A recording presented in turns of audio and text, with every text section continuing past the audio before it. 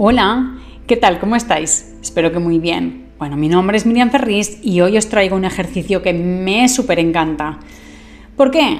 Porque lo puede hacer un niño, lo puede hacer una persona mayor, lo puede hacer una persona que cree en la espiritualidad y una persona que no le interesa para nada el camino espiritual. ¿Para qué sirve? Sirve para vaciarnos. ¿Te suena el que en tu día a día hay veces que no dices las cosas te callas porque a lo mejor es tu jefe el que te dice algo y quieres mantener tu trabajo, te callas porque no quieres crear mayor conflicto o una gran discusión. Bueno, no importa.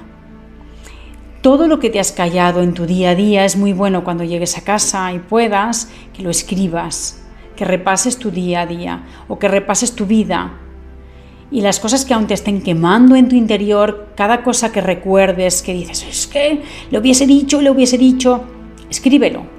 Te agarras un papel en blanco, un boli o un lápiz y empiezas a escribir. Cuando no sé quién me gritó, ¿vale? Lo escribo, cuando no sé quién me gritó y empiezas a escribir. ¿Cómo te sientes? Eh, pues es que tú no tienes derecho porque me faltas al respeto, yo te trato con amor y mira tú cómo me pagas. Y empiezas a escribir. No importa, no pienses que escribes, ¿sí? Habrá veces que vendrá algo, pues, eh, no sé, te viene a la cabeza una traición, que alguien soltó, que ves un árbol, que hay gente que está difamando a otra persona y diciendo cosas que no son lo que tocan y esa persona está triste, tú lo escribes, no importa. Aunque no tenga nada que ver con lo que hayas vivido, suéltalo todo. ¿Por qué? Porque habrá cosas que tu subconsciente suelte. Serán situaciones que tú hayas vivido en otras vidas y que serán más o menos similares o que te hayan producido la misma sensación que estás viviendo ahora. Suéltalo todo, aunque no tenga sentido, escríbelo todo.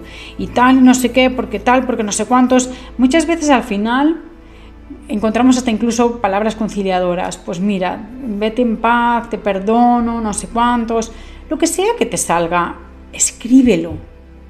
Y cuando ya esté escrito, arrancas el papel y lo quemas.